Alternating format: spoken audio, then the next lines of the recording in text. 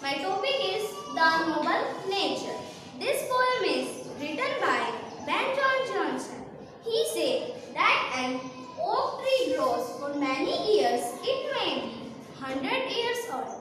It was strong like a loaf in the end. For example, it is the flower of lily. A lily is a small flower, leaves for just a day. May throw, it was the flower of life.